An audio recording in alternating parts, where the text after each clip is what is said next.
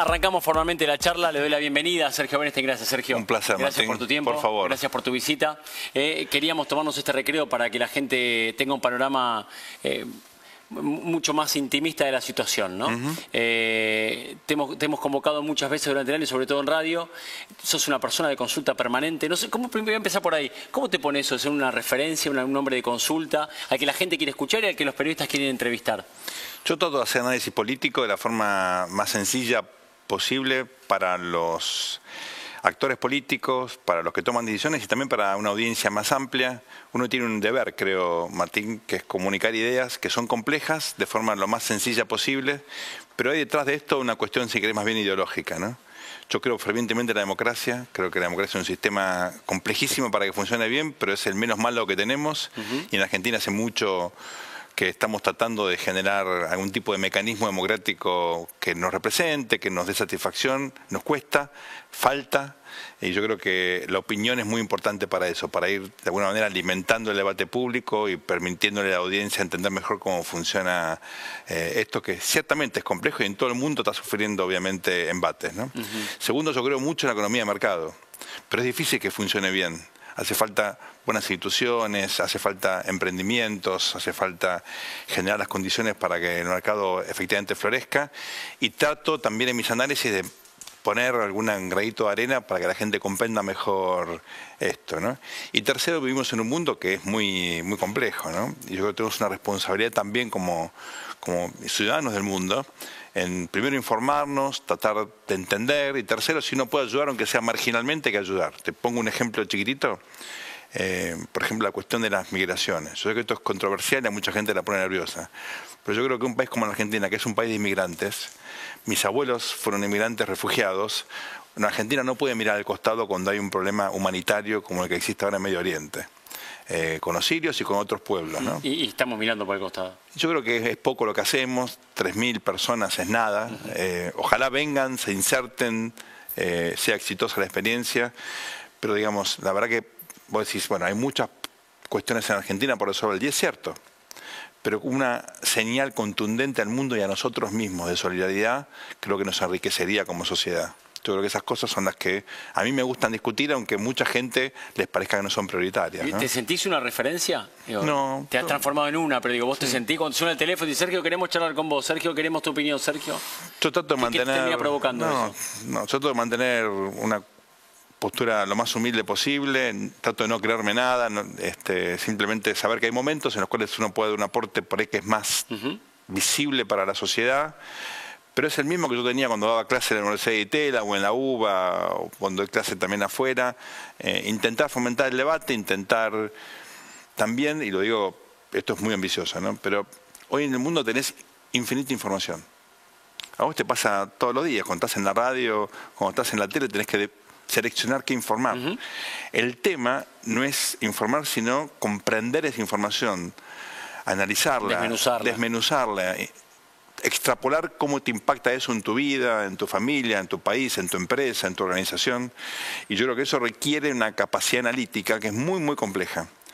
Eh, bueno, yo trato cuando doy clase es no de enseñar temas puntuales, sino de enseñar a procesar esas cuestiones, ¿no? a pensar. ¿no? Es muy, si querés, soberbio decirlo de este modo, pero uno, por lo menos el objetivo de largo es, eso. Sé que escuchándote rápidamente me vino como referencia lo que pasó hace unas semanas con ganancias, ¿no? Cuando todos hablábamos de ganancias, cuando el, país se paralizaba durante diferentes días por el tema y, le impacta a un porcentaje minúsculo de la población. Tal cual. Tal cual. Y es una peli interesantísima esa, porque ahora con cierta distancia la podemos ver con más objetividad, ¿no? ¿Se discutía plata? Sí, obvio, estamos discutiendo plata.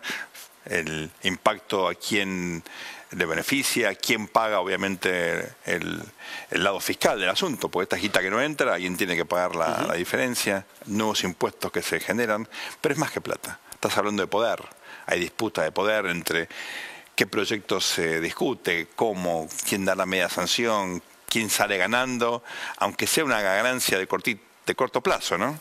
También es una disputa, simbólica, porque ahí lo que estás viendo es cómo la sociedad procesa un problema, que la verdad que todas las sociedades lo discuten todo el tiempo, y en Argentina la política que funciona muy mal, hace problemas chiquititos problemas grandes, y si no hay problemas muchas veces los inventa, ¿no? como el conflicto con el campo, que no era un problema y lo inventaron. Pasó a ser tal vez uno de los más grandes del gobierno pasado. Claro. Eh, entonces, esto es interesante porque más allá de ganancias o más allá del conflicto con el campo, cuando miras el resultado de la Argentina en los últimos 70, 80 años, es negativo. Es un país que no logró efectivamente seguir evolucionando. ¿Y es una mezcla de libros escritos sobre esto, pero hay una cuestión político-institucional crucial. La política argentina funciona mal. Eh, no genera estímulos para la inversión a largo plazo, ha generado un Estado enorme e inútil que cuesta mucho financiar y no provee lo que se llaman los bienes públicos esenciales, seguridad, educación, salud, justicia, medio ambiente, infraestructura física, como para que la sociedad se desarrolle. Hoy, por ejemplo, la gente está por irse a vacaciones a la, a la plaza, a distintos destinos. Es un problema salir a las rutas, es un peligro de paso pasemos el aviso que la gente maneje prudentemente. Con prudencia, sí. Porque la verdad, no están, los autos son cada vez más rápidos eh, y las rutas son las mismas que hace 20, 30, 40 años. Eh, Se cambió la, a Córdoba, ¿no? Bueno, la ruta autopista, la 2 que, es increíble, ¿no? Yo no me acordaba cómo era ir una sola mano. Vos sos joven, yo sí me acuerdo. No, yo me, o sea, me acuerdo, pero es como que ya lo perdí de vista. Ah, obvio. Pensar que algún día íbamos, tardábamos ocho horas, ¿no? De un solo lado. Con suerte, con suerte. Y aparte los autos se rompían en esa época. ¿Te acordás? Veías a todos a, Autos parados, se calentaban. claro que sí. O la gente no cambiaba las gomas tanto como ahora. Eh, no, pero tenés los pavimentos en muchos casos no están bien mantenidos, por ejemplo. O ceden o son cráteres. Claro, o no están bien marcadas las rutas, no están pintadas. De noche no ves la, línea divisoria. Digamos, son cuestiones muy básicas que te ponen de manifiesto que el Estado que cobra un montón de impuestos, la carga tributaria en Argentina es, de, es la de un país europeo, arriba 50% del producto, es una barbaridad. Y los bienes públicos en general del Estado son muy malos. Decime, cuando, cuando hablábamos un rato de lo que pasó hace unos días de ganancias, eh, ¿vos sentís que el salario debe tributar? Mira, Independientemente del monto, porque yo soy los que creen que no me importa el monto. Para mí, el salario, producto de tu trabajo diario, no debiera tributar. La ganancia de tu negocio, las cosas que hagas, las inversiones, es otra cosa. Yo, estoy, por ejemplo, estoy de acuerdo con, con pagar por la renta. Claro. ¿No? Por la renta financiera. Pero me parece que el salario gane 100, 200 o 50.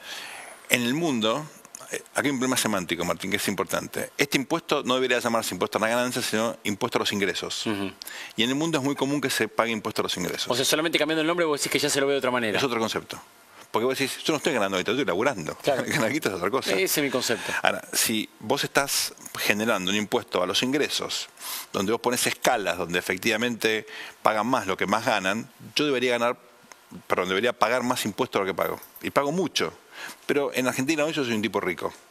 Y como es una situación de desigualdad tan profunda, yo debería contribuir más de lo que contribuyo. Siento eso. Vos decís, bueno, pero pagás bastante impuestos, está bien, pero me regalan la luz y el gas, aún con el aumento tarifario. ¿Siguen regalándonos? Sí, por supuesto. Es ridículo que estamos pagando hoy, insisto. Con este aumento y con el año que viene pagamos 40%, vamos a pagar 40% de lo que se paga en Chile o Uruguay.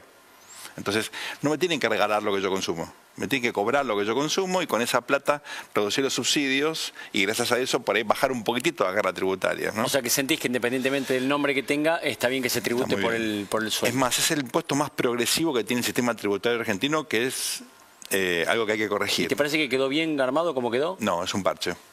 Pero está mejor que antes, hay que decirlo, porque antes alguien que ganaba veintipico de lucas, la vara por mes, no tiene que pagar impuestos ni a la ganancia ni al ingreso. Eh, Ahora quedó una cifra un poquito más razonable. Recordemos que el gobierno tenía pensado eh, disminuir efectivamente la presión fiscal de ganancias, cambiar las escalas, no lo pudo hacer. Fue parte de la estrategia de campaña además, ¿no? Sí, lo dijeron, bueno, no en un año, en cuatro, pero iba a dar una señal de disminución de la carga.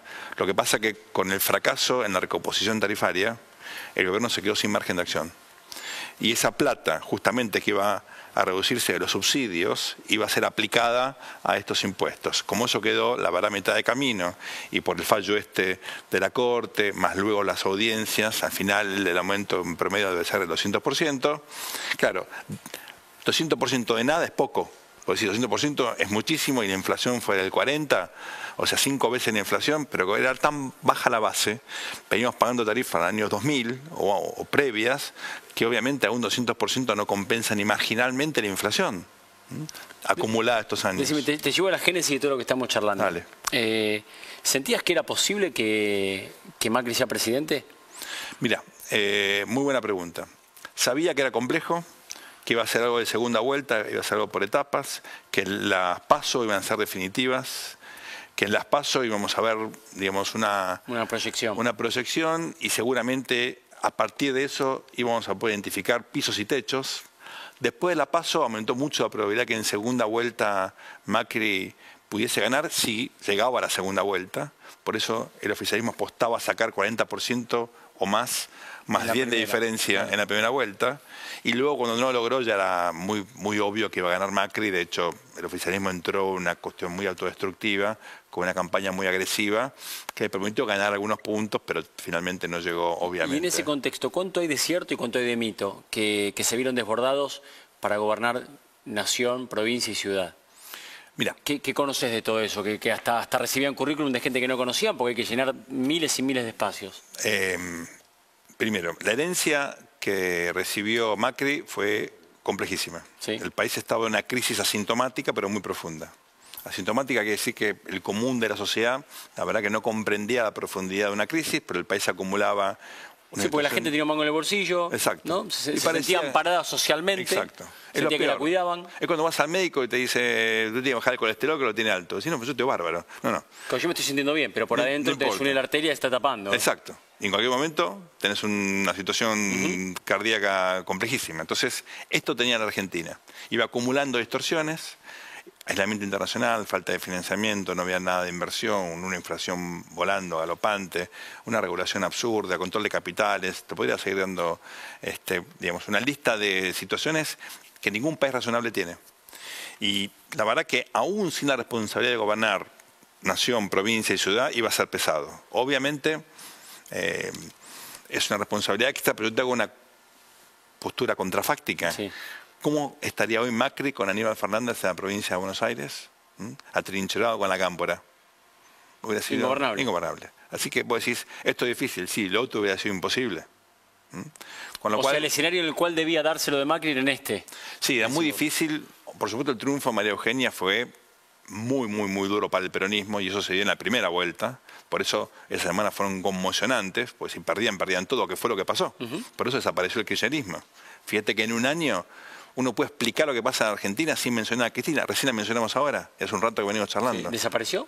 Yo creo que quedó reducida a una expresión. En los primeros días de diciembre viste que hubo un montón de muestreos que le dan el 30% en la provincia. No, bueno, una cosa es que te dé imagen positiva, 30%, y otra cosa te dé intención de voto, 30%. Y aparte, todos los eh, sondeos... O sea, yo te puedo ver positivamente no necesariamente va de la mano con votarte. No, no te van a votar y aparte no sabés quién va a ser el candidato del oficialismo ni de la oposición, no están instalados.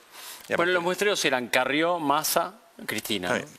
Una cosa es el muestreo, qué pasaría si, otra cosa son los candidatos ya están instalados, aparecen de alguna manera definiendo algún tipo, digamos, de programa. Eh, el oficialismo puede mostrar seguramente hacia las elecciones del año que viene algún logro en materia económica, vas a ver que la economía se va a recuperar aunque sea parcialmente. Massa seguramente va a mostrar más peronismo. Cristina ha perdido el apoyo del peronismo. ¿Mm? Cuídate que ella va a Comodoro Pi y no hay ningún dirigente importante que la acompañe. Ni uno. Ningún gobernador dice, bueno, Cristina, la expresidenta. Nada. Ella está muy, muy aislada. Está la vieja guardia que le acompañaba siempre a ella. Bueno, pero no es, no es relevante ni electoral ni políticamente. Conti y tampoco son relevantes dentro del PJ. Ninguno son dirigente relevante dentro del PJ, ni formal ni informalmente. ¿no? Entonces yo veo, digamos, la política argentina girando y es imposible entender el entorno en el cual se va a desarrollar el proceso electoral Pero ¿Estamos yendo hacia donde debemos ir? Vos, sentís que estamos yendo, que el camino, me dirás ahora si es largo, si es corto, si elegimos un atajo, si estamos yendo por el camino largo, si el camino largo estamos yendo como se debe o estamos yendo por la banquina, pero ¿estamos yendo hacia, hacia donde había que ir? En mi visión, el rumbo de largo plazo es el correcto, pero me parece que el gobierno está equivocando dos cosas muy importantes. Uno es el diagnóstico. El diagnóstico del gobierno es que con algunas poquitas cosas se podía salir y que la economía iba a rebotar y ahora hace falta más de lo mismo, que fue lo que está haciendo hasta ahora eh, Macri, que se puso un 8. Si te pones un 8 no, no querés cambiar demasiadas cosas. ¿no?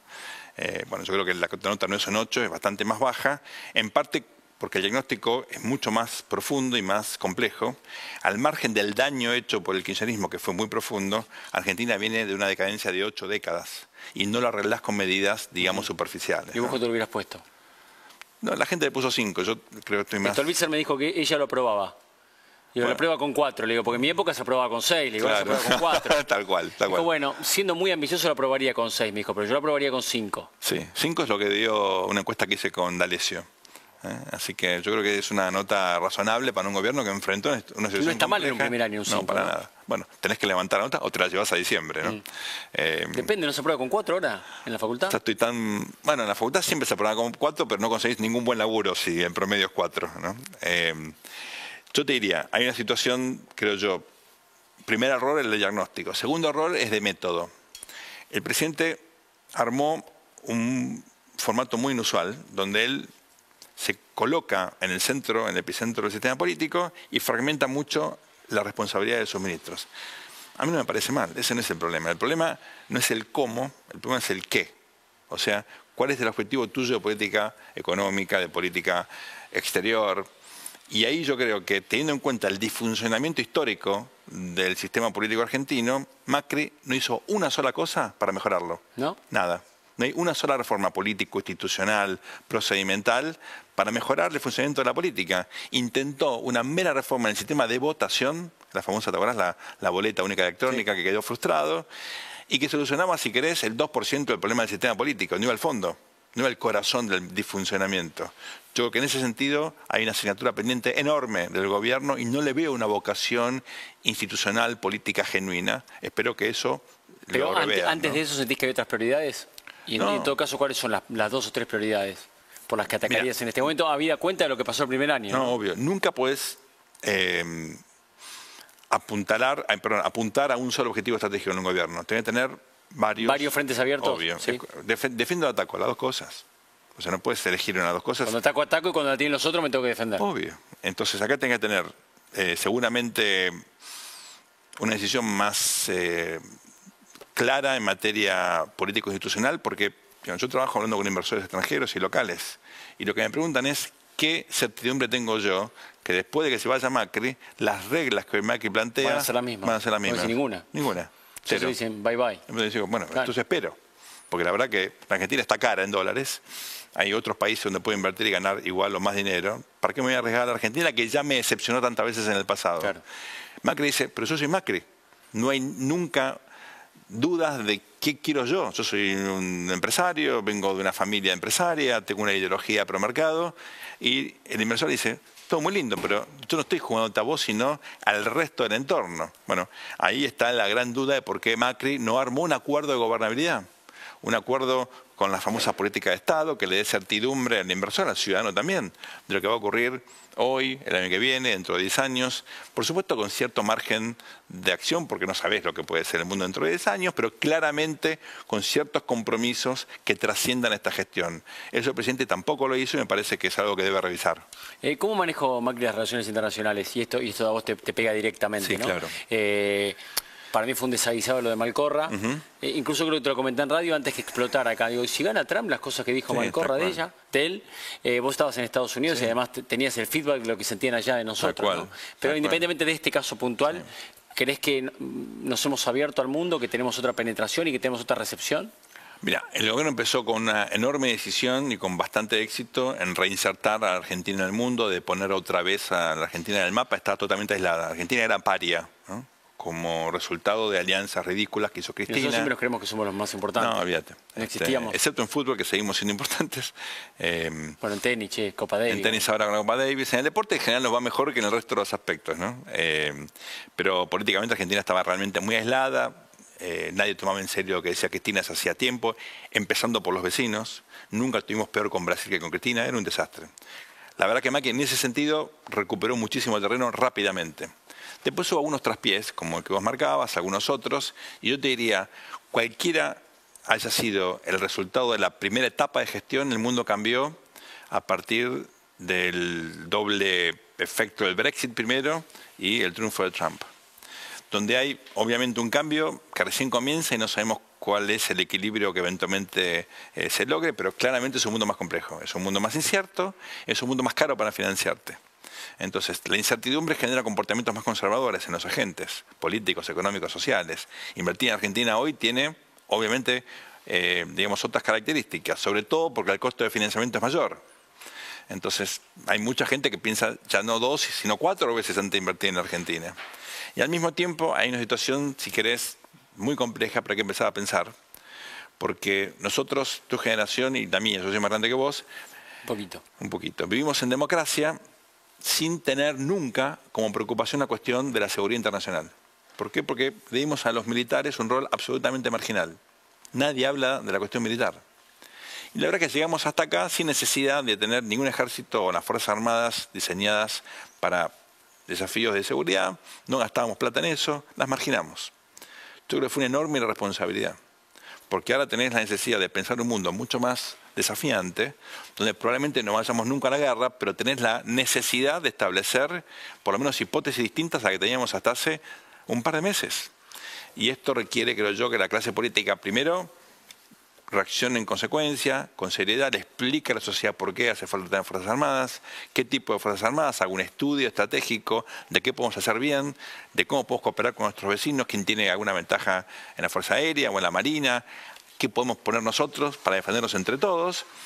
¿Por qué? Porque es un mundo en el cual, la verdad, hay escenarios insospechados. Si yo hace un par de meses, en una entrevista eh, te decía, mira, es probable que Rusia y Estados Unidos se junten para frenar la irrupción de China como poder global, vos me habías dicho, Sergio, tomate unos días de vacaciones, estás estresado, no estás empezando este, a fallar en tu capacidad de razonamiento. Hoy esto es un escenario de alta probabilidad.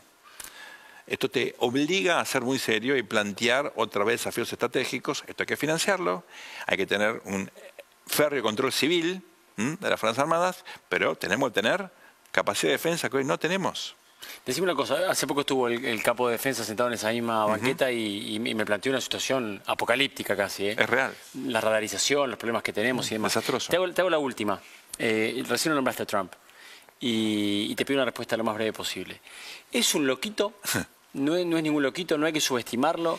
¿Crees que llevará finalmente adelante alguna de las cosas que prometió? esas que horrorizaban a la gente, mm. digo, ¿no? No me refiero a las políticas de campaña que tienen que ver con, el espíritu diario con el que piensa gobernar, sino esas declaraciones grandilocuentes que producían impactos y, horrorización en, parte, en mucha gente. Yo creo que es una persona muy histrónica, con un manejo muy sofisticado de los medios. Él para ganar la elección tuvo que realmente recurrir a, eso. recurrir a eso, lo hizo con mucha eficiencia, con un costo reputacional alto para los que pensamos, digamos, de forma sí que es tradicional, pero no para sus votantes. Así que independiente de lo, que tuvo que hacer para llegar al poder, hoy es el presidente de los Estados Unidos, una potencia que implica el 40% de la capacidad militar del mundo y el 20 y pico por ciento del Producto Bruto. ¿No? Así que hay que tomarlo en serio, sí. Em, ¿Lo que haga impacta en nuestro futuro, en nuestro presente? Sí. Así que eh, es una realidad, punto. ¿Qué puede hacer? Eh, tengo que ser muy prudente acá porque la agenda transformacional de Trump va a tener que ser procesada por un aparato institucional, político, regulatorio, administrativo que es recontracomplejo y seguramente va a tener que elegir algunos objetivos y de 10 va a lograr dos o tres, que es lo que pasa siempre con todos los presidentes. Ahora, es una persona con un espíritu, si querés, de trascendencia y lo que está haciendo con Rusia tiene que ver con eso. ¿No? Eh, no está ahí como para ser un presidente más. Claramente va a dejar una marca. Tiene 70 años, tampoco tiene mucho tiempo, por eso me parece que los tiempos se van a acelerar. Hay cosas que yo creo que desde el día uno vas a ver decisiones que ya están en el equipo de transición eh, definiendo. ¿no? Enorme pragmatismo, enorme pragmatismo. Fíjate que habló mal del mercado financiero y puso a mucha gente con experiencia en Wall Street. Eh, hablaba peste del partido y aparte hizo las paces con su partido. Digamos, es el típico eh, elemento político que juega en los márgenes, pero cuando tiene que gobernar, rápidamente hacia el centro. Yo creo que van a ser años interesantes. Lo que uno no puede hacer es ignorar lo que está pasando. Nunca.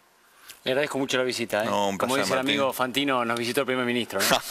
¿Es el primer ministro o no? ¿No, le daste el cargo de Asís vos? Ahí le el cargo de Asís, pero no llego ni siquiera a los talones a la inteligencia de Asís. Yo no sé si eso es muy subjetivo. Pero muchas gracias por la visitó el primer ministro entonces. Un placer, Martín. Un buen año, ¿eh? Lo mejor para, vos. Y la verdad es muy lindo escucharte. Entrevistarte es un lujo, ¿no? pero escucharte todas las noches cada vez que uno puede, la verdad que es muy bueno y nos vamos pensando a dormir.